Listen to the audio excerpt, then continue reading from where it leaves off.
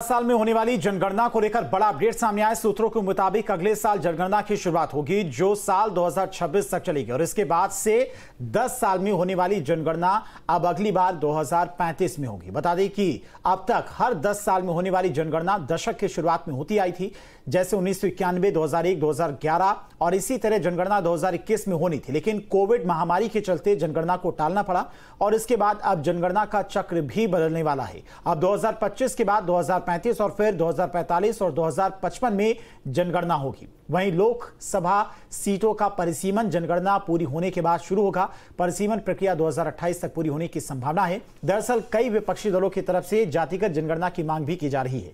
लेकिन सरकार ने अभी इस बारे में फैसला नहीं किया है।